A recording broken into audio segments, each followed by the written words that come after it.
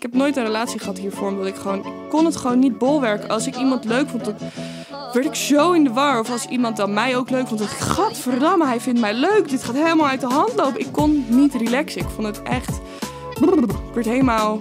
Terwijl tot het op een gegeven moment goed zat. En dan denk je van, oh ja, dit is gewoon eigenlijk hoe het wordt. Welkom bij een nieuwe wekelijkse aflevering van Seks, Relaties en Liefdes. Waarin Nienke Nijman elke week openhartig in gesprek gaat met vrienden, familie en bekenden. Nienke Nijman is de host van deze podcast. Zij is psycholoog, systeemtherapeut, relatietherapeut, seksuoloog, auteur en columnist. In deze aflevering praat Nienke met Sophie Milzink. Zij is een van de grootste namen in YouTube Nederland. Influencer van het eerste uur met op dit moment ruim 300.000 abonnees op YouTube en bijna een half miljoen volgers op Instagram. Nienke praat met Sophie over de ware liefde, vreemdgaan, onzekerheid als tiener, een gebroken gezin en break-up video's. Ja, dat was een heel, eh, heel rijtje. Ja, ja, ik vind het een goede cv. Ja. ja. Hey, ehm, eh, welkom eh, Sophie. Dankjewel. Ik heb het genoegen om, van jou, om vandaag met jou te, te spreken in deze nieuwe aflevering van Seks, Relaties en Liefdes. Mhm. Hey, toen ik jou vroeg waar, eh, ehm, waar jij het vandaag niet over wilde hebben, toen gaf jij vooral aan dat jij het heel belangrijk vindt dat datgene waar jij het over hebt, dat mensen daar wat van leren. Ja, Waarom vind je dat zo belangrijk? Nou, ehm, ja, ik, ik zend een hoop, eh, een hoop uit op het internet. En ehm, ja, sommige dingen, daar heb je wat aan en andere dingen niet. Maar omdat we natuurlijk nu over best wel een, ehm, ja, to- toch een, een interessant onderwerp gaan praten, denk ik, nou ja, ik zou het wel fijn vinden dat, ja, dat, dat de inhoud daarvan ook eh, ja, interessant is voor mensen. Ik, ik zal uitleggen waar ik vandaan kom. Ik heb wel eens interviews gedaan en dan ging het ook over seks. En dan was het voornamelijk heel plat. Of dan was het voornamelijk voor een scoop of voor een titel. Oh, Sophie zegt dit of Sophie zegt dat. En dat is nu iets waar ik wel een beetje overheen ben. Ik zou het nu wel leuk vinden als mensen naar ons luisteren. Dat ze denken, oh ja, ja interessant wat ze zeggen. Of interessant waar het over gaat. In plaats van, oh, oh dus ze vindt het lekker om uh, ondersteboven gehangen te worden. Zo wat ik bedoel. Het is, het is, Vind jij dat lekker? ik vind dat heerlijk. Ja, nee, maar absoluut.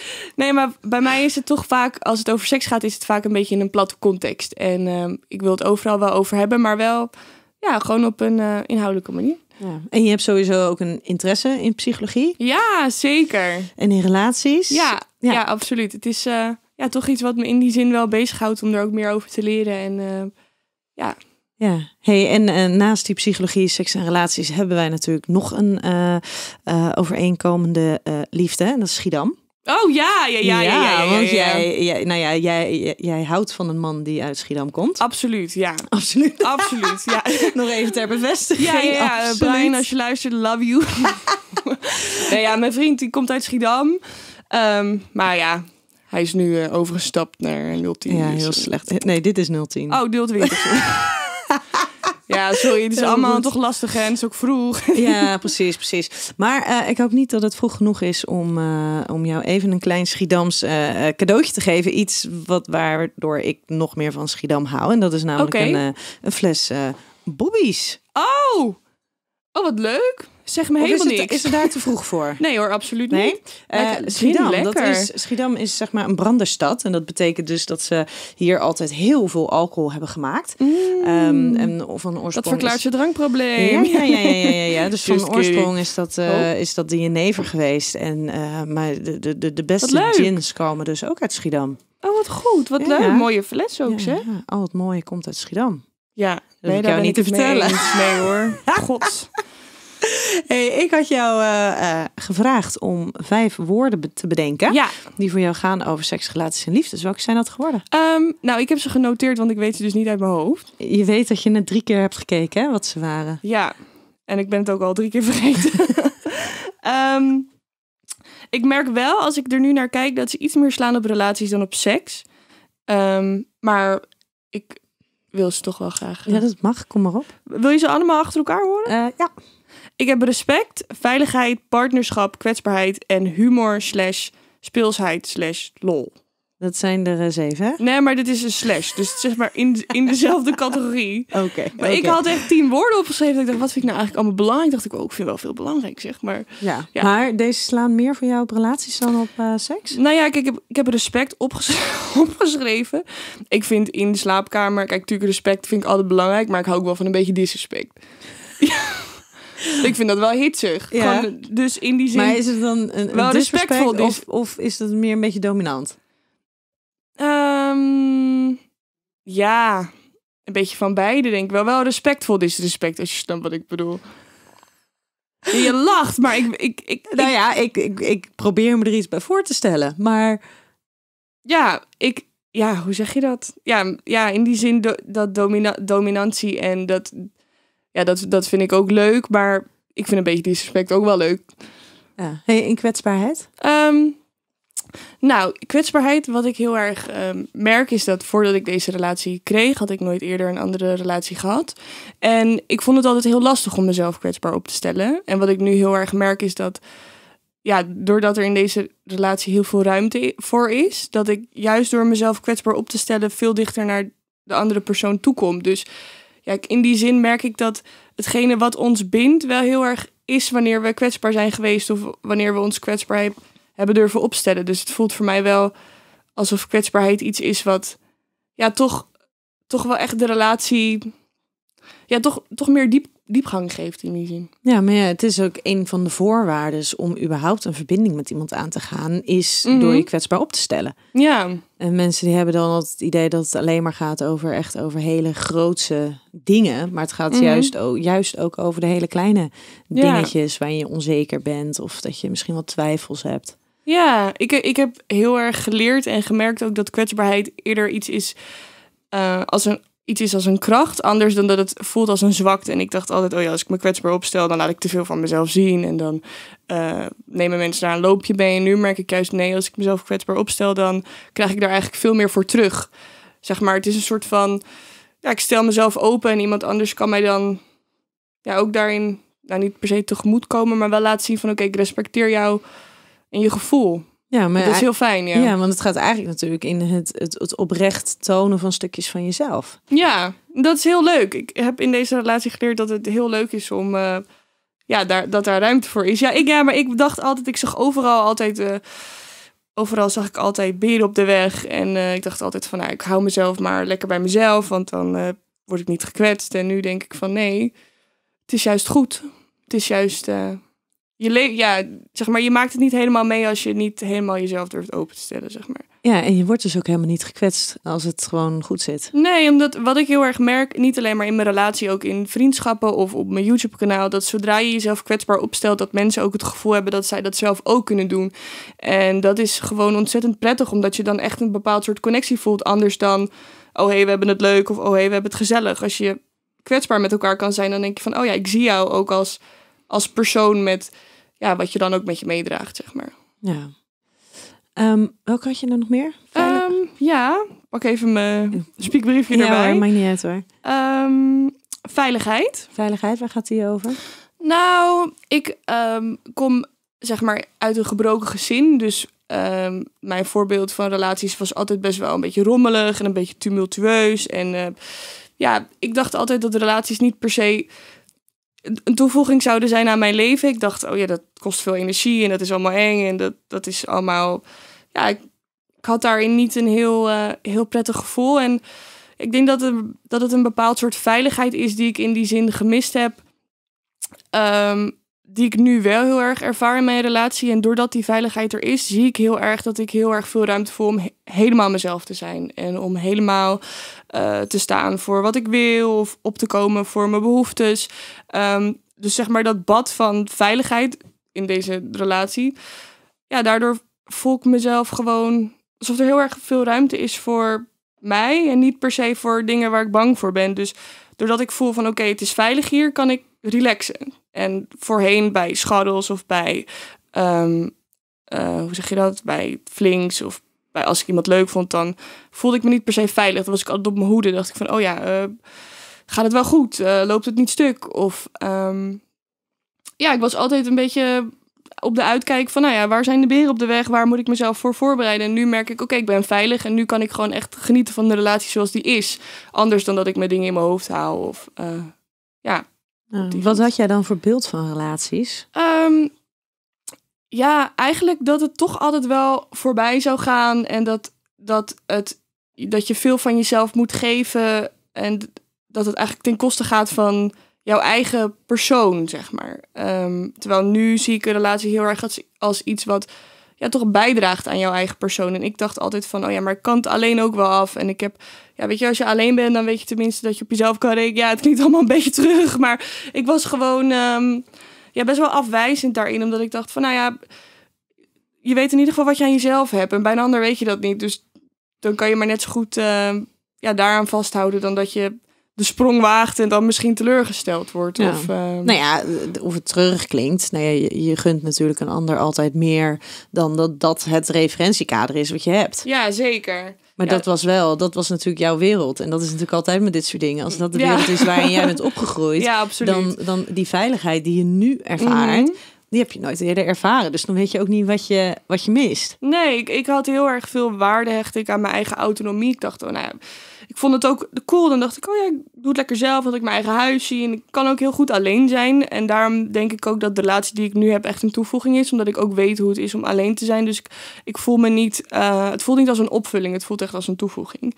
En doordat ik dat nu heb geleerd, denk ik ook dat wat er ook mag gebeuren. Ik bedoel, ik hoop dat ik nog zo lang tot zolang ze leven met hem samen blijven. Maar je weet natuurlijk nooit hoe het loopt. Dan denk ik wel van ja, er is voor mij wel echt iets veranderd. Ik heb daarin wel echt iets geleerd. Ja, maar, maar betrap je jezelf er nog wel eens op dat je denkt van, oh ja, dat, dat alleen zijn is ook wel prettig? Of was dat eigenlijk een soort van Nou, er, schijn iets wat je voor jezelf hebt gecreëerd? ja, ik denk dat wel heel erg dat het een beetje een schijnvertoning was. Omdat ik heel erg wel ook dacht van ja, maar hoe kan je nou je leven met iemand delen en niet gek worden van iemand? Hoe kan je nou gewoon dag in dag uit met iemand optrekken? Dat leek me verschrikkelijk. Ik bedoel, we zijn ook best wel, heeft bij ons best wel even geduurd voordat we zijn gaan samenwonen. Omdat ik gewoon heel erg lekker vond, lekker mijn eigen huis. Maar ja, vervolgens ging ik wel elke dag bij hem zitten. Dus ehm, mijn gedrag was anders dan wat ik mezelf altijd voorhield. Ik vond het eigenlijk juist heel fijn om alles met iemand te doen. En juist nu ook. We zijn zeker ook door die coronacrisis dag in dag uit samen. Maar we, ja,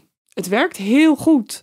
En ehm, nu denk ik bijna van, oh ja, hoe kon ik mezelf daar eigenlijk zo tegen afzetten? Want het is echt een soort van, ja, alsof er altijd iemand achter je staat. Dat is heel prettig. Ja, maar Ja. eigenlijk wat je, wat je beschrijft is gewoon een soort van, als je het dan hebt over, over hechting, hè? Dus het is Ja, een soort ja. blauwdruk van, van hoe, je, hoe je relaties aangaat in het leven. Mhm. Gaat heel erg over het, het, het vermijdende onveilige hechting. Van ik doe het wel zelf, want op mezelf kan ik wel vertrouwen en de rest van de wereld niet. Mhm.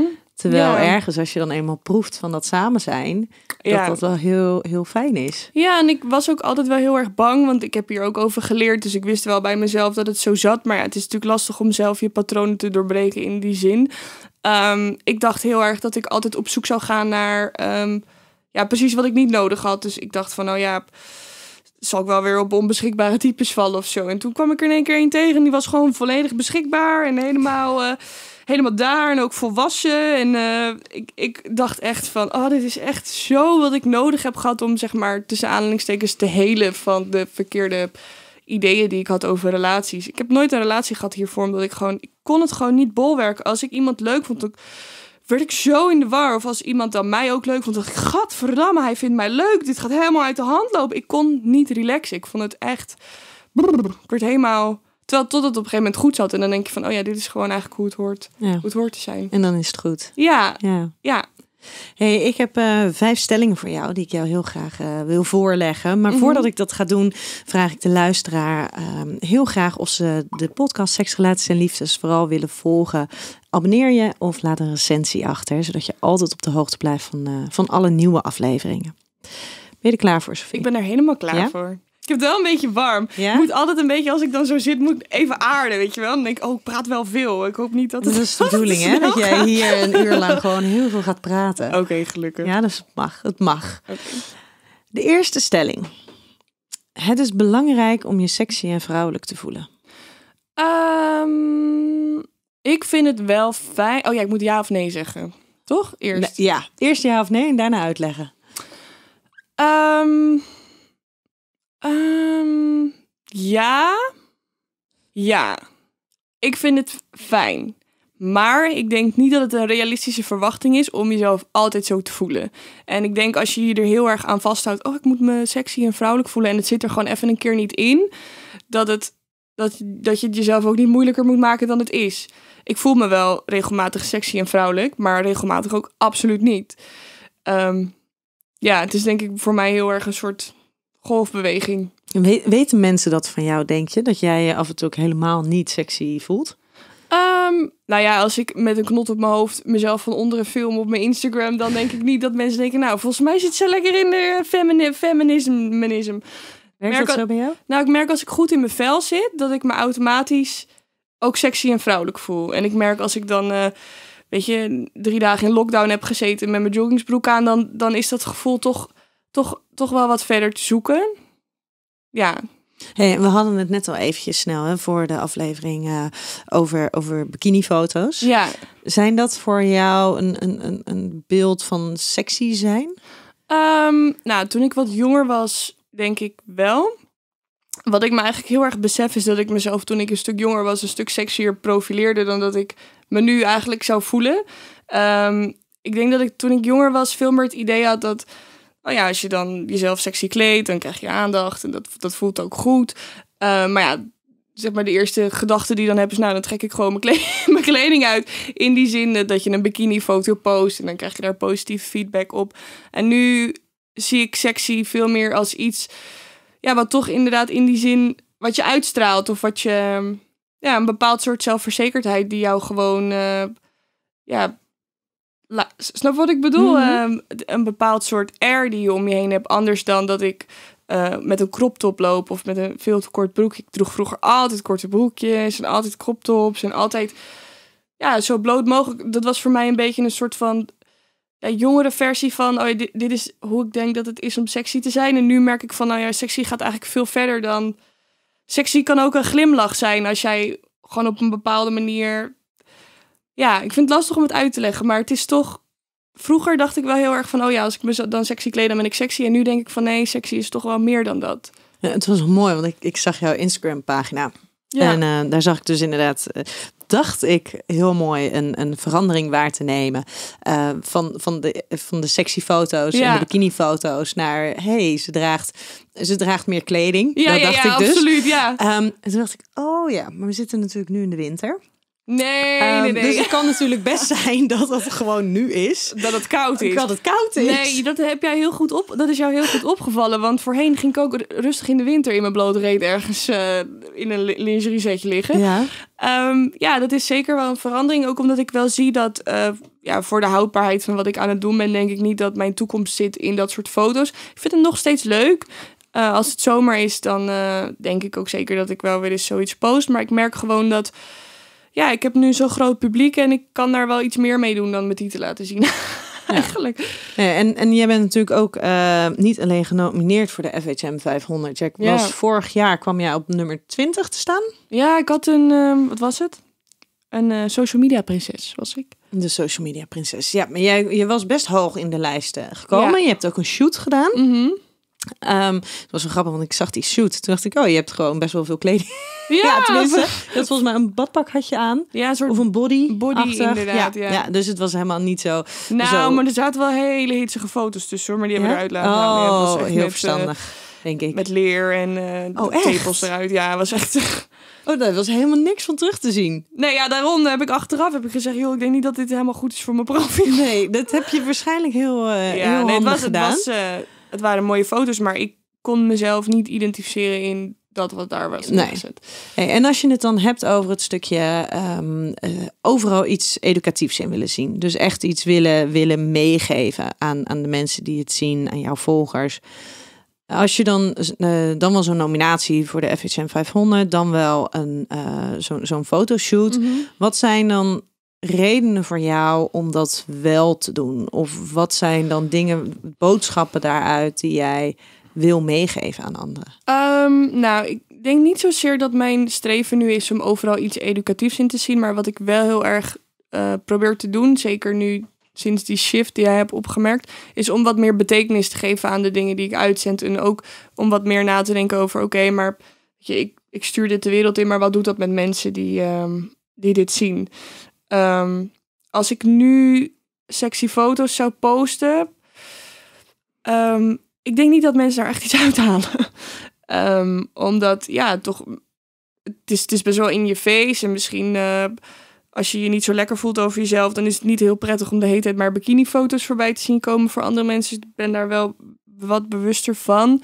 Als ik een bikinifoto nu post, is het meer omdat ik dat leuk vind voor mezelf. Uh, maar daarom ben ik er ook wel mee geminderd. Omdat ik denk van ja, maar wat, wat laat je achter bij mensen? En ja, je, je ziet nu heel erg een body positivity beweging. Er is best wel veel behoefte aan gewoon wat meer, um, ja, wat minder woeha en wat meer gewoon, dit is wat het is, weet je wel. En um, ja, daarom denk ik op dit moment op het punt waar ik sta dat hele heftige sexy shoots niet zo heel veel toegevoegde waarde meer hebben voor ja, waar ik eigenlijk naartoe wil. Ja, maar ja, aan de andere kant, um, dit is hoe het is. jouw lijf ziet er nou helemaal uit zoals het eruit ziet. ja. ja. ja, ik heb uh, volgens mij een lintworm. Ik kan heel veel eten en ik kom eigenlijk nooit echt aan. Hmm. Um, ja, maar ja, ondanks dat, ik ben super blij ook met mijn lichaam en ik ben er ook heel tevreden over, maar toch, ja. Er zijn genoeg mensen die dat niet zijn. Nou, en dat, dat uh, hoef ik ook niet per se dan zo in iedereen's uh, gezicht te drukken. Van kijk maar eens met me. Ja.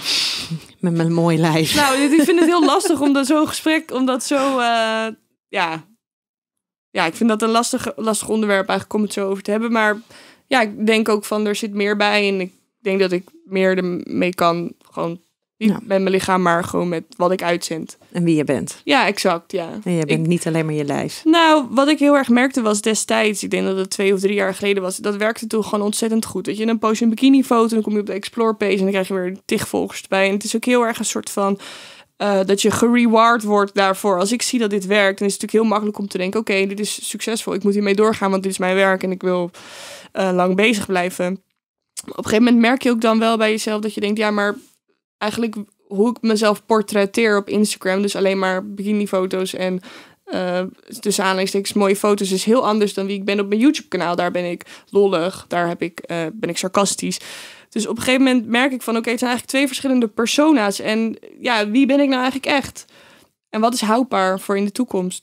En ja. daarom dacht ik van, oké, okay, ik moet meer laten zien van wie ik zelf ben. Wat meer persoonlijkheid, anders dan alleen maar Oké, dit zijn mijn titelen. ja. Maar ja, het is natuurlijk ook... Ik, ik hoop niet dat je het jezelf te veel kwalijk neemt. Want jij zit al sinds je twaalfde zit je al op YouTube, hè? Ja, is lang, ja. ja. En, en niemand is hetzelfde op zijn twaalfde als dat hij is op, op zijn 24ste.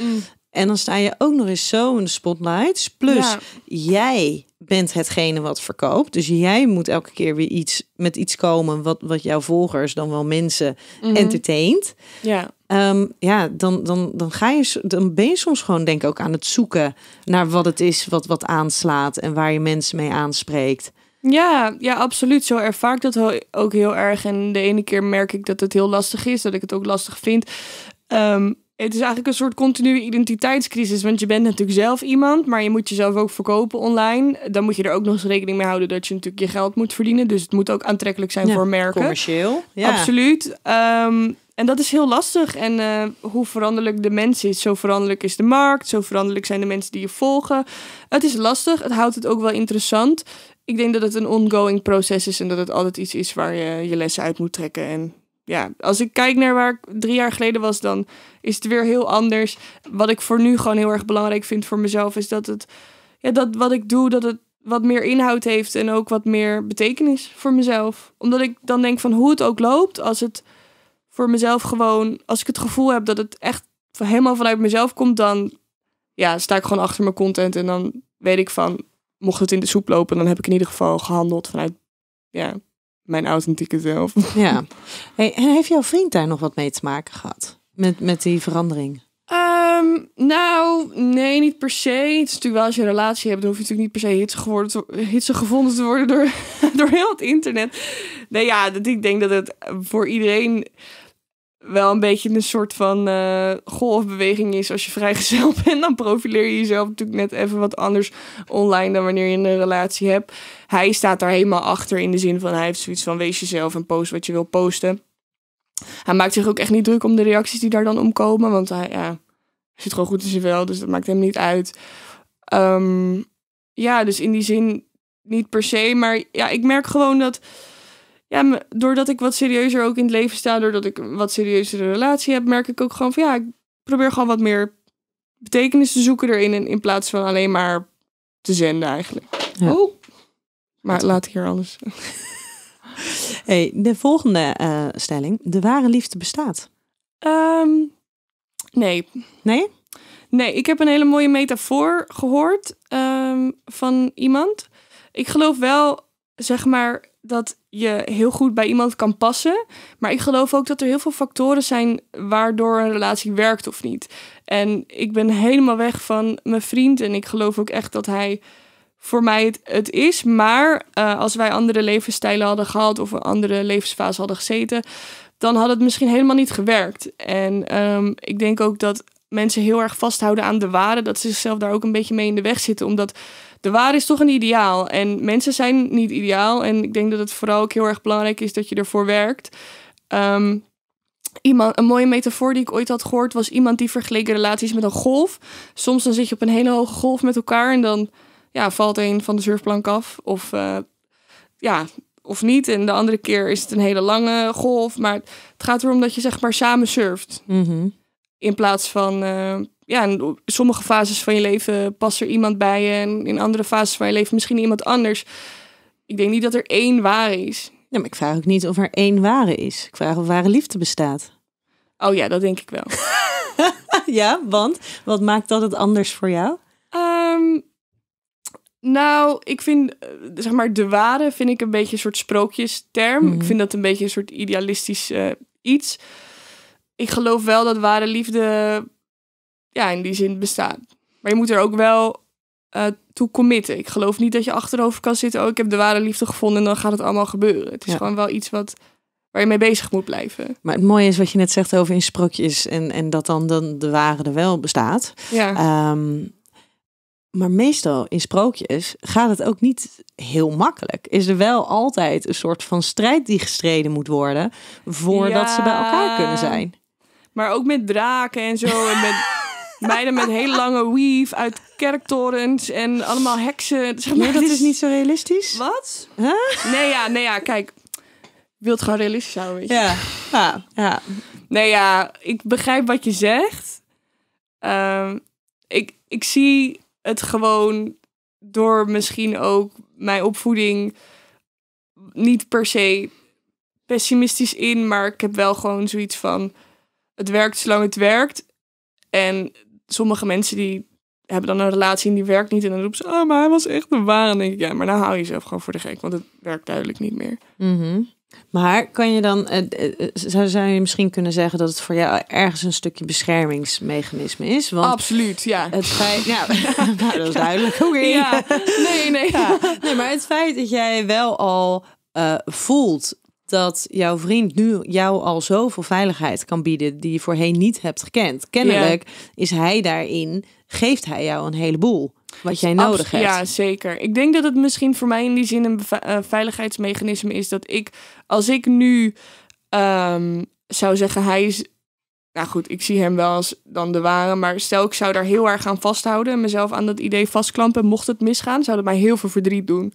Ehm, daarom zie ik het nu wat realistischer in, in die zin dat ik denk van ja, maar ik denk dat het ook heel belangrijk is om gewoon wel eerlijk te, te blijven naar elkaar en dat voor mij het concept de ware, ik zie dat als een soort probleem, omdat ik denk, ja, maar als het dan misgaat, dan is het, zeg maar, het zou mij meer nadigheid brengen dan dat het concept mij, ehm, Iets oplevert. ja, in Ja. die zin. En als je. Zie je meer, zie, zou het meer zien als een obstakel, omdat, ja, Ja, en, als, en als je ware liefde dan zou zien als een, een, een, nou ja, als een concept, als iets dat niet per se dus gebonden is aan één persoon, maar dat het Mhm. iets is wat je voelt en wat wordt gecreëerd tussen jullie, ja, Ehm, maar wat ook tussen meerdere mensen kan bestaan. Hè? En dat het dus Mhm. nu ware liefde is waarin hij jou heel veel kan, kan geven en die veiligheid kan geven. Mhm. En dat het echt al voor jou een enorme switch heeft gecreëerd naar hey, relaties zijn best fijn. En ja. ik kan mezelf zijn en niemand anders kan een toevoeging op mijn leven zijn. Mhm. Maar dat er, ook al zou dit dan voorbij gaan, dat er misschien dan wel weer iemand anders komt waarbij dat stukje ware liefde ehm, ontstaat, wordt gecreëerd, waarin je weer wat, wat anders leert. Ja, en, en in die zin geloof ik ook heel erg dat dat is wat relaties doen. Ik denk dat je zeg maar van iedere relatie iets leert. Ik geloof ook dat iedere relatie heel anders is. Dat je dat kan je op geen enkele manier naast elkaar leggen. Ik denk dat dat iets heel moois is.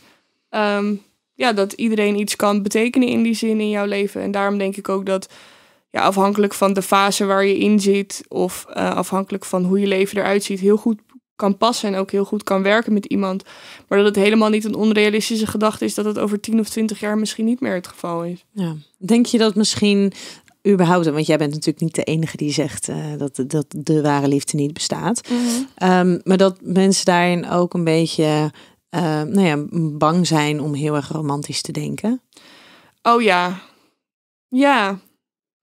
Ja, dat denk ik wel. Ja, maar ik denk dat, dat ik daar ook wel naartoe neig. Ik zou alleen niet zo goed kunnen uitleggen waarom dat bij mij zo, uh, zo sterk aanwezig is. Nou ja, ja, misschien wel door het gezin waar je vandaan komt. Ja, ja ik, ik heb gewoon ook gezien dat mijn ouders veel verdriet hebben gehad door de relatie die ze samen hebben gehad. Um, en dat dat gewoon voor allebei echt hun tol heeft geëist. En daar, zeg maar, mijn blik op relaties is voorheen, zag ik ook altijd heel erg van. Ik zag, ik zag altijd de barstjes, zeg maar, in. Mhm. in um, terwijl andere mensen die zien juist meer het grote geheel of meer. Uh, ja, die, die kijken daar wat optimistischer in. Ik denk dat het leuker is om uh, optimistischer te zijn. Alhoewel ik moet zeggen dat ik niet pessimistisch in mijn relatie sta. Ik heb absoluut geen idee van, oh, wat als. Dus dat vind ik heel fijn. Ik sta heel open naar de toekomst. Maar ik heb wel altijd in mijn achterhoofd van... Ja, je moet het jezelf ook niet kwalijk nemen als het niet werkt. Nee, maar dat moet je jezelf sowieso nooit kwalijk nemen. Nee, absoluut. Nee. Hey, de derde stelling. Mm -hmm. Iedereen kan in de verleiding worden gebracht om vreemd te gaan. Um, oh ja, dat denk ik ook wel, ja. Ja. Hebben jullie daar samen wel eens uh, gesprekken over, jij ja, en vriend? Ja, het is nog niet voorgekomen. We gaan nu uh, iets langer dan drie jaar. Um, dat is nog niet voorgekomen, maar we hebben wel gesprekken gehad. En dat is ook uh, waarom ik respect had opgeschreven eigenlijk. Ik denk dat het heel menselijk is uh, om door dit soort gevoelens heen te gaan. Maar ik denk dat het vooral heel belangrijk is om daar op een volwassen manier mee om te gaan. Uh, ik zou het heel fijn vinden, mocht het gebeuren, dat hij dat tegen mij vertelt. Dat we daar ja, een, nou, een oplossing voor gaan bedenken. Dat we gaan kijken van, joh, hoe kunnen we hier samen doorheen komen of niet. Um, andersom precies hetzelfde. Mocht, mocht je bepaalde behoeftes hebben die niet helemaal passen binnen de klassieke vorm van een relatie, praat daarover. En heb ook het respect om de ander daarbij te betrekken. Um, ik denk namelijk, kijk, nu zijn we nog helemaal, je weet toch, helemaal oeh, maar ik bedoel, misschien over tien jaar, mochten we dan nog bij elkaar zijn, dan heb je andere behoeftes. Ik denk dat het heel belangrijk is om dan op een gegeven moment die mentale, die mentale band die je met elkaar hebt, vind ik dan belangrijker dan in die zin uh, dat hij misschien ooit een keer een uitstapje maakt. Snap je wat ik bedoel? Mm-hmm. Omdat je zo lang iets hebt opgebouwd met elkaar dat het. Ja, is, is één keer seks dan bijvoorbeeld. Snap je wat ik bedoel? Dus ik denk dat je daar best over kan praten. Maar ik denk dat je dan wel een hoop overboord moet gooien van wat we hebben geleerd over relaties en over hoe dat hoort te zijn. Ja. Ik denk dat veel mensen misschien ook daar best wel een weg in zouden kunnen vinden, maar dat we ons nog best wel tegen laten houden door de norm. Um, ik denk in ieder geval, als ik een hele goede relatie met iemand heb en iemand zegt: Ik heb echt die behoefte om uh, verder te kijken, maar ik wil wel graag met jou blijven, dat het in ieder geval de moeite waard zou zijn om dat te proberen. Ja. En dat je dan ook niet in je valkuil trapt van: Zie je wel, deze relatie heeft toch niet zo moeten zijn, want hij heeft niet genoeg aan me. Nee, maar zo zou ik dat ook absoluut niet zien, want ik denk ook dat, uh, ja, dat relaties ook heel erg in die zin evalueren. En dat je op een gegeven moment een ander soort verhouding hebt met elkaar dan aan het begin. Ik denk dat het totaal niet realistisch is om maar te verwachten dat het altijd. Uh, ja, die begin verliest. Snap je wat ik bedoel? Het, is, het is gewoon. Uh...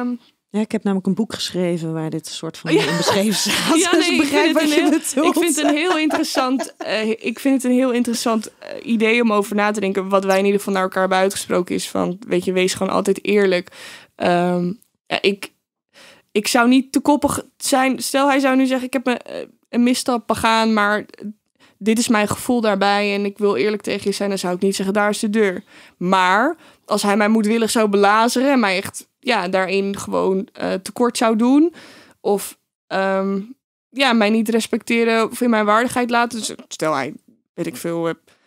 Hij belazert me gewoon. Dan denk ik, ja, dan heb je weer met respect te maken. Want ik bedoel, kan me echt wel voorstellen dat het gebeurt of dat mensen in één keer andere behoeftes krijgen. Dat vind ik niet gek. Ik vind het alleen wel gek als je daar iemand ja, toch niet in meeneemt of toch, toch kwetst of toch.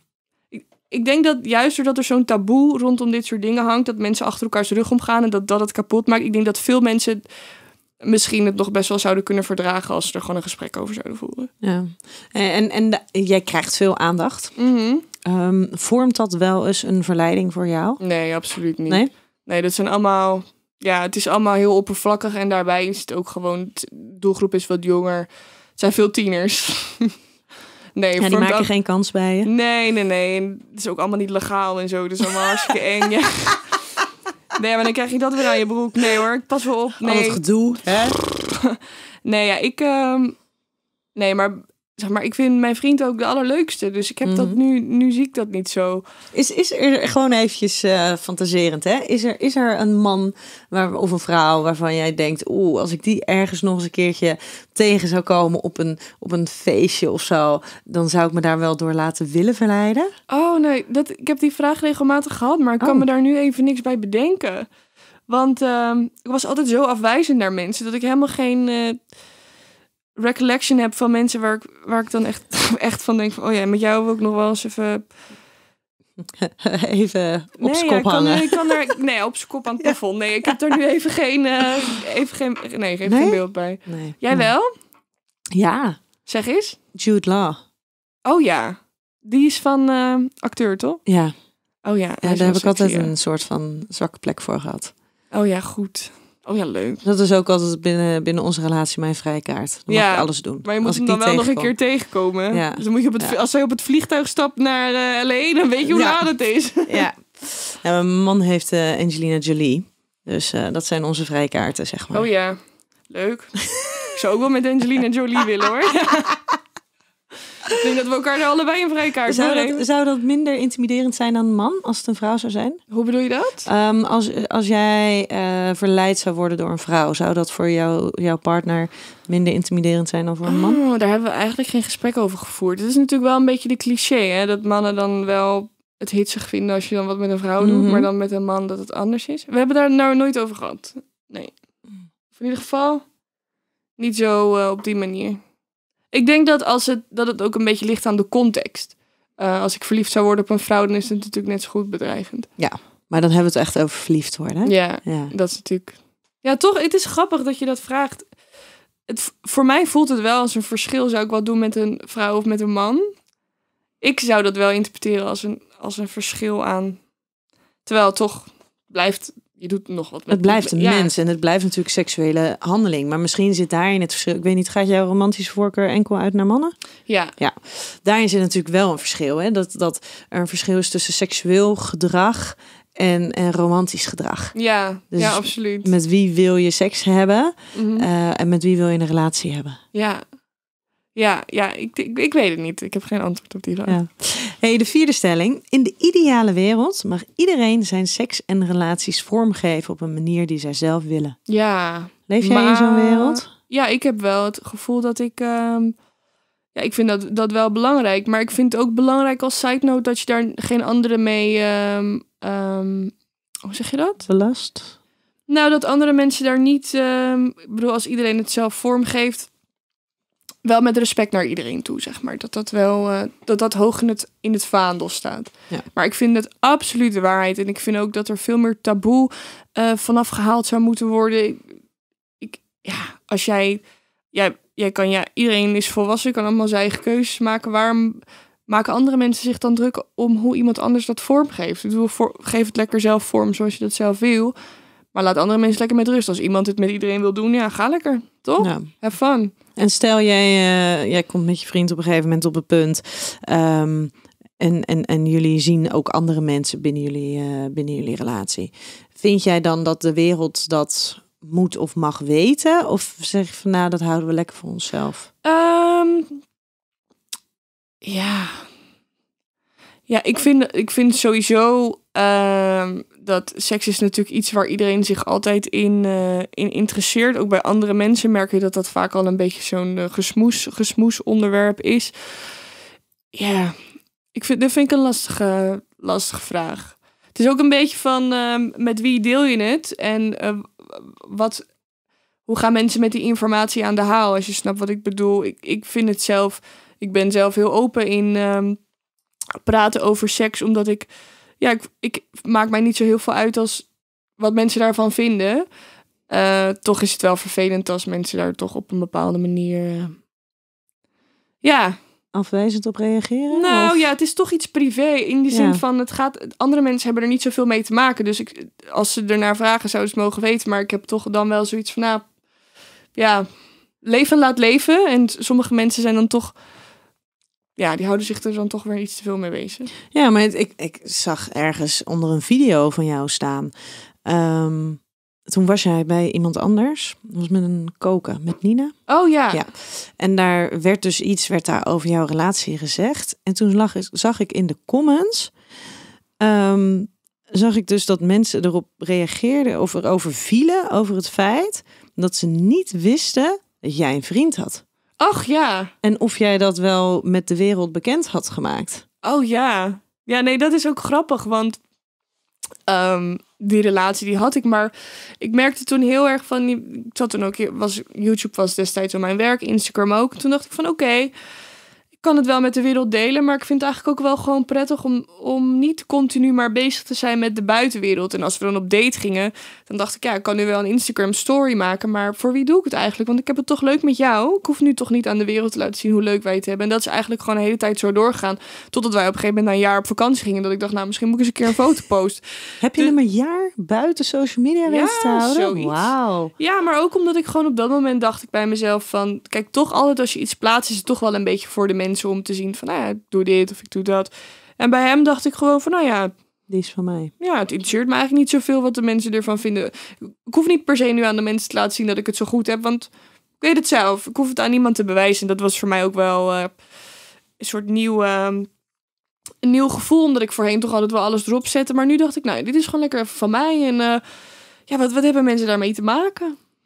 Ja. Ja, Maar vinden mensen dan dat ze het recht hebben om alles van jou te weten? Nou, ik heb heel weinig te maken met wat mensen vinden. Ja, echt, sorry. Ik vind dat zo'n onzin. Ik heb ook altijd zoiets van, natuurlijk, het was mijn eerste relatie en het, aan het begin dan ben ik ook huiverig om daar maar gelijk alles van te posten. Ik denk, ja, je weet natuurlijk nooit hoe het loopt. Dat is misschien ook wel een beetje dat beschermingsmechanisme wat ik had. Ik dacht, ja, ik kan het nu wel eh, erop zetten. Maar ja, mocht het over een half jaar uitgaan, dan moet ik dat ook weer gaan aankondigen.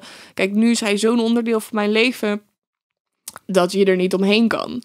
Ehm, maar ik vind dat ik aan niemand iets verschuldigd ben. Ik vind het ook altijd zo tergend als dan mensen dan een break-up video moeten gaan maken. Ik denk, jongens, doe lekker. Ja, sorry dat ik eh, niks van me heb laten horen. Het is uit en jank, jank, jank. En denk ik, ja, je hoeft dat helemaal niet te doen. Die, wat, die, wie denken die mensen wel niet dat ze zijn? Ja, het is leuk dat ze jou volgen op Instagram. En het is misschien wel handig als mensen denken, oh ja, hij is al zes maanden niet in beeld. Dat je zegt van, joh, het zit zo.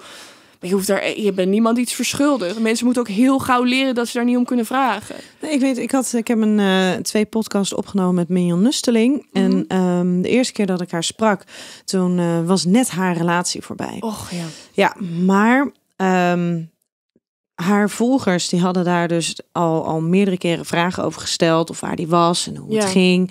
En zij vond het eigenlijk heel confronterend om, om daarmee mee om te moeten gaan op dat Ja. moment. Dus toen heeft zij dus ervoor gekozen om in de podcast haar verhaal te vertellen. Oké. En daarin heeft ze dus ook naar, eh, op haar social media gerefereerd naar de podcast van jongens. Als jullie het willen weten, luister de podcast. Weet je, ik, ik heb hartpijn. Ik heb geen zin om hier continu over te praten. Nee, want de een vraagt het en de ander heeft even niet opgelet. En die komt een week later weer. Hoe zit het met eh prijs? Ja. Ja. maar zo is het wel. En de ander heeft even geen zin om het filmpje te kijken. En dan stuurt ze een DM, omdat je het dan even zelf uit moet leggen. Ja, het- maar Ja. ja, het gaat nergens over. Hey, de laatste stelling. Yes. Ik ben heel benieuwd hoe jij, ehm, wat, wat jouw antwoord hierop is. Oké. Ik ben liever happy single dan de rest van mijn leven met één iemand. Eh, oh. Oh, dat vind ik een interessante vraag. Ik denk niet dat de rest van je leven met één iemand zijn iets negatief is. Zeg maar, het wordt een beetje eh, eh, genuanceerd van dat het iets is wat eigenlijk een soort van tergend is om nog de rest van je leven met... Nou nee, dat, dat kan zijn dat je dat tergend vindt. En dat je dan zegt, ik wil liever de rest van mijn leven happy single zijn. Maar misschien zeg jij, ik ben heel graag de rest van mijn leven met één iemand ja, wel. samen. Ja, in de, in de situatie waar ik nu in zit, zou ik liever de rest van mijn leven met één iemand zijn dan dat Mhm. ik nog happy single ben. Ja. Ja. En, en zou dat dan een, een, een volledig, ja, in deze, zou, in deze stelling zou het dan een volledig strikte monogame relatie zijn? Oeh. Grapje! Kan ik even time-out? Ja, weet dat- ik veel. Daar krijg je het een Nieuwe beetje- stelling. Daar krijg je het een beetje warm van. Nou, nee. Kijk, nee, dan zou ik alsnog zeggen de rest van mijn leven met één iemand. Ah, dat is wel lief. Ja, als ik zie wat eh, voor soort van wat dit mij allemaal brengt, ik merk gewoon echt dat ik ook de ruimte voel om te, te groeien als persoon, als mens. Dat is voor mij zo, dat is zo waardevol. Ik denk dat ik er wel van op zou knappen om eh, iemand naast mij te hebben voor de rest van mijn leven. Ja. ja. Hey, wat maakt nou dat jij eh, relaties zo interessant vindt? Is dat vanuit het, het, het gezin waar jij vandaan komt? Ja, ik denk het wel. Eh, ik vind niet per se alleen relaties interessant, ook gewoon mensen. Waarom doen Mhm. mensen wat ze doen? Ehm, en natuurlijk relaties zijn interessant omdat mensen zich dan tot elkaar verhouden. En wat ik gewoon interessant vind is dat er dus... Ja, je denkt natuurlijk dat je als mens heel uniek bent, maar er zijn natuurlijk bepaalde patronen ja, waar mensen...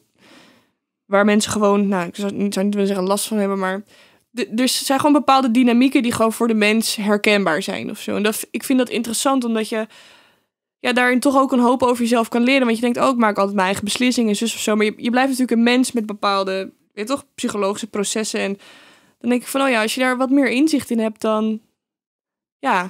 Ik vind het heel lastig om dit uit te leggen. Soms kom ik niet helemaal uit mijn woorden. Maar Maar jij vindt het in ieder geval interessant. En met de inzichten die jij, nou ja, met, met de verdieping daarin van de laatste jaren. eh, eh, als je dan het, het terugkijkt in hoe, de af, nou ja, hoe jouw tienertijd voor jou is geweest. ja, Hè, waar, je, de- de- waar je jezelf eigenlijk continu in een middelpunt zet. Mhm. Waarin je heel veel aandacht krijgt. Had je ook aandacht nodig? Nou ja, dat denk ik wel. Ik heb altijd al wel filmpjes gemaakt, dat vond ik leuk. Maar ik denk dat voor mij ook een drijvende kracht wel een bepaald soort bevestiging is geweest. En eh, ik was altijd heel onzeker als tiener. Ik wilde er graag ehm, bij horen. Ik wou graag dat mensen mij leuk vonden. En ik denk toch wel dat ik die behoefte op een bepaalde manier heb vormgegeven. Door ook in de spotlight te gaan staan en te zeggen: hier ben ik en dit is mijn mening. En ik hoop dat jullie het allemaal met me eens zijn. Ehm, daardoor heb ik ook wel weer geleerd van... Oké, je kan dus niet iedereen tevreden Nee, houden. want niet dus iedereen is het met je eens. Nee, niet iedereen vindt jou leuk. Dus zeg maar vanuit een behoefte om door iedereen leuk gevonden te worden. Ja, natuurlijk ook omdat ik het leuk vond om filmpjes te maken. Maar ik heb toch het idee dat er toch wel iets zat van... Oh ja, ik, ik, ik wil mezelf laten zien. Heb ik geleerd. Je kan niet iedereen tevreden stellen. Nu ben ik op een punt dat ik juist dat heb leren loslaten. Dus ik denk dat het voor mij wel veel gebracht heeft in die zin ook om... ehm, ja, mezelf te leren zijn. En ook ehm, die behoefte aan bevestiging door te zien van dit is ook niet per se. Je moet het niet uit andere mensen halen, je moet het uit jezelf halen. Maar dat heb ik wel geleerd doordat ik het uit andere mensen heb gehaald en heb beseft: oké, het is leuk als je het krijgt, maar als je het niet krijgt, dan voel je je beroerd. Dus het moet ergens anders vandaan komen, want zo kan je ook niet leven. Nee. En Ja. dan als je, het, eh, als je het dan over golven hebt, dan zit je continu zit je of op een enorme hoge golf, Ja, absoluut. of je zit op een hele lage. Ja, en dat is natuurlijk ook zo. Als ik iets had gemaakt wat heel erg goed scoorde, dacht ik: wow, het scoort goed. En eh, succes. En jee. En dan voelde ik me goed. En als ik dan iets maakte wat niet goed scoorde, dan besefte ik me van ja, Oké, eh, ik ben niet goed genoeg. Doe ik het wel goed? En dat, zeg maar, dat, eh, die afhankelijkheid van iets wat zo erg buiten je ligt, dat heeft mij wel doen beseffen van oké, dit, dit kan niet op deze manier. Want ja, dit hou je niet vol. Ik denk dat het voor heel veel mensen zo is die in deze branche, branche die in deze scene werken, dat ze zich beseffen van je kan daar niet afhankelijk van zijn, want het is te, ehm, zeg je dat, wisselvallig. Ja. Je moet altijd blijven vechten voor goede resultaten en succes, anders kan je je dus niet goed voelen over jezelf en dat werkt gewoon absoluut niet. Dus dat is wel iets wat ik geleerd heb. Dat is misschien wel de meest waardevolle les die ik heb gehaald uit dit werk. Ja. Hey, en jij zei ergens op een gegeven moment, ik ben een tikkeltje ordinair. Ben jij dat? En wanneer heb ik dat gezegd? Ik ben namelijk helemaal veranderd. Ik ben nu chic. nee hoor, just kidding. Volgens mij een keer in een interview Ja. of zo. Ja, ik maak daar altijd grapjes over. In de zin ordinair. Ik vind het altijd een beetje een... eh, dat is een beetje een gekke term. Ligt ook een beetje aan de context waar je het, eh, waar je het in gebruikt. Ja, ik maak ook wel soms graag platte grapjes. En ik vind het ook wel leuk om me sexy te kleden. Of, net, of bloot. Of, ehm, Is dat dan gelijk ordinair? Nee, absoluut niet. Nee, ja, ik weet ook niet precies wat de context was van die video. Ja, het was, eh, of het was met Gwen van Poorten, Oh het interview. Ja. Ja, en daar, werd, daar zei je dus van, ik ben, ik ben ook gewoon een tikkeltje ordinair. Ik dacht, ja, maar is dat, is dat echt zo? Of is het wat overkomt als part of the act? Nou, ehm, ja. En als het wel zo is, dan is het ook prima, hè? Nou, ik zit, nu na, ik zit nu na te denken. Ik denk dat in die zin dat ordinair dan ook overkomt als iets negatiefs. Ik vind dat ook niet per se iets negatiefs. Dus in die zin ben ik soms wel gewoon een beetje plat en soms een beetje... Ja, ik kan ook wel seksgrapjes meemaken met gasten of zo. Snap je? Dus de, in die zin zou ik dan zeggen, oh, soms ben ik een beetje ordinair. Omdat ik misschien ook een beetje plat uit de hoek kan komen soms. Ja. En, en vind jij jezelf echt een, een, een seksueel wezen? Um, ja, het is voor mij zeker een belangrijk iets. Toch zie ik wel dat ik jong ben en dat ik ook bepaalde uh, dingen heb meegekregen vanuit mijn jeugd. Dat het wel iets is waar ik wat meer in zou kunnen. Hoe zeg je dat? Niet relaxen, maar het is voor mij wel dat ik denk van, oh ja, ik zou dat wel wat meer willen leren. Wat meer de, dat bewustzijn, als je snapt wat ik bedoel. Ja, maar je bent ook nog hartstikke jong, hè? Ja, daarom. Dus ik zie het ook iets van, iets, iets als een soort van reis of zo. En ik heb het gevoel dat ik nu aan het begin sta van die reis. Ik voel mezelf wel een seksueel wezen. Ik ben me ook bewust van mijn seksualiteit. Ik hou ook van seks. Maar ik heb wel zoiets van, ik geloof wel dat er ook een groei in te maken is. Dat je daar ook dingen van moet loslaten die je meedraagt van bijvoorbeeld uh, ideeën van je ouders of, uh, weet je, de, de, maatschappij. Ik geloof dat dat wel iets is waar ik nog, ja, waar ik aan het begin van sta in die zin. Ja, wel mooi dat je dat voelt, dat je, dat, dat je in zo'n transitiefase zit. Nou ja, wat ik me dus heel erg uh, herinner is, als ik bijvoorbeeld seks had voordat ik een relatie had, dan was het vaak ja, gewoon absoluut emotieloos. Ik had nooit seks met jongens die ik leuk vond, want dan vond ik het allemaal weer te ingewikkeld. En het, was gewoon seks, weet je wel. En nu begin je ook meer te leren van oké, er is meer dan gewoon neuken. Als je snapt wat ik bedoel. Uh, dus dat is iets wat ook komt met leeftijd en met ervaringen. Dus ik, ik sta er heel open in, in die zin. Ja, ja.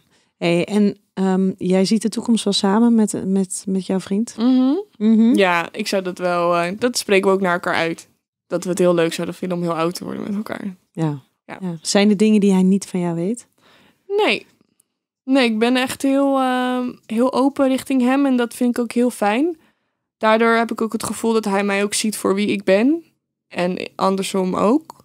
Daarom zie ik ook wel graag die toekomst. Dat ik gewoon denk van oké, okay, jij, jij kent mij als mij en je houdt van mij om mij. Dat is gewoon heel fijn. Ja. En die, die seksuele reis, maak je die alleen? Maak je die samen? Ja, samen. Ja? Tuurlijk, het is fijn om daar iemand, uh, iemand naast je te hebben die, daar, uh, ja, die daarbij is. Plus ook hitsig natuurlijk, omdat samen. ja, toch? Ja. En zijn er dan niet dingen die, die je daarin in, in alleen doet, die je zelf doet? Um, hoe bedoel je dat? Nou ja, um, geen idee. Uh, maar dat, eh, je kan natuurlijk alles samen doen. Je kan natuurlijk elk seksueel contact wat je hebt, kan je samen doen. Uh, je kan elke fantasie hebt, die je hebt, kan je samen delen. Ja. Um, maar je mag natuurlijk ook gewoon je eigen stukjes houden. Jawel, ja, zeker. Maar tot nu toe heb ik wel altijd gewoon de behoefte gevoeld om dat met hem te delen. Ja. ja en... Ook omdat hij daar wel heel erg in open staat voor in die zin. Dus dat is wel... Ja, en hij, hij is natuurlijk wat ouder. Ja. Uh, merk je dat daarin? Uh, ja, in die zin wel gewoon. Um, je merkt gewoon al dat hij ook veel gezien heeft en um, veel meegemaakt. Dus dat er niet voor hem een bepaald soort. Uh, wat ik vaak ervaarde met wat jongere jongens, was een bepaald soort. Niet per se gehaastheid, maar wel een bepaald soort. Um, die hadden zelf. Hij is wat meer gezetteld in zijn zijn. Uh, waardoor er voor mij ook veel ruimte is om te kijken van, oh ja, wie ben ik en wat wil ik en zo. En doordat hij dat al heeft gezien, zeg maar, als je twee mensen hebt die nog heel erg zoekende zijn, is het soms lastig omdat je allebei een andere kant op zoekt, zeg maar. En ja. hij is er gewoon bij mij, dus dat is fijn. Hij is er gewoon. Ja. ja. Hey, voordat wij hem um, gaan afronden, mm -hmm. um, wat, wat zou jij de luisteraars nog willen meegeven? Nou ja, dat, dat gevoel wat ik nu heb in mijn relatie, dat ik helemaal. Uh, wat ik vaak zie bij vriendinnen is dat ze soms uh, met jongens gaan en dan. Ja, dan gaat het eigenlijk niet goed en dan is, er weinig respect. Of dan blijven ze toch hangen omdat ze denken: oh ja, misschien is dit het wel of niet. Ik geloof heel erg dat als het, als het goed zit, dan voel je dat heel erg. En dat is heel belangrijk om dan op je intuïtie af te gaan. En um, dat je niet moet blijven hangen in dingen waarvan je diep van binnen weet dat het niet goed voor je is. Want het komt uiteindelijk wel op je pad. En als dat op het moment niet zo is, dan denk ik dat je beter af bent met jezelf. Als zeg maar happy single. Het is denk ik belangrijker om die vervulling in jezelf te zoeken totdat er iemand voorbij komt die daar ja, Die iets kan toevoegen. Ja, Ja. in plaats van dat je iets gaat zoeken wat iets opvult. Omdat ik denk dat je jezelf dan heel erg tekort doet. Ja, ik denk dat dat eh, hele mooie woorden zijn om nog eh, deze aflevering af te sluiten. Yay. Wow, ik heb zoveel gepraat. Ik hoop echt dat- dat het niet helemaal het voelt als één brei. Ik denk dat dat wel meevalt. Ik wil jou in ieder geval heel erg bedanken voor jouw eh, openhartigheid. Ja, of course. En eh, lieve luisteraars, eh, dank dat jullie er weer waren. En eh, heel graag tot volgende week. Doei!